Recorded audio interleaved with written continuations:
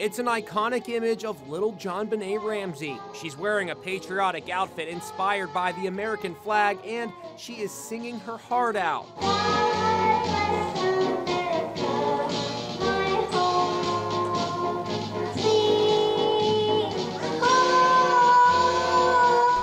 Now, look at this a lineup of JonBenét lookalikes. There are eight of them. These little girls are waiting their turn to audition for the role of the slain beauty queen in a Netflix documentary called Casting John JonBenét. My name's Hannah, and I'm auditioning for the role of JonBenét Ramsey. The Netflix documentary is the latest retelling as the nation marks the 20th anniversary of John JonBenét's unsolved slaying.